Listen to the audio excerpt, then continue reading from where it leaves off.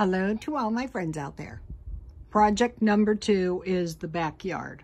I have the littlest backyard. I am going to be working on it today.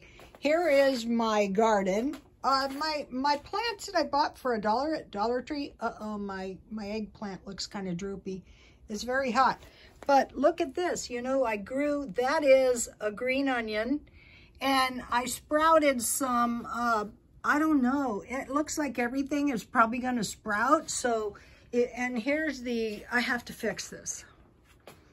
Uh, I think I'm going to leave these bricks because I have some uh, cushions. I think they're good enough for now. Uh, let me show you if I can my backyard. This is where the coyotes are. So do you see this, the, the tree there? Right behind the tree was where the big giant coyote was. He was looking at me and I was looking at him. And uh, where there's one, you know, we have a lot. So it's really pretty. And what is really good is notice how the tree is right kind of over my uh, patio. And I have one little um, table, but I want to get a barbecue and then I want to get a long table.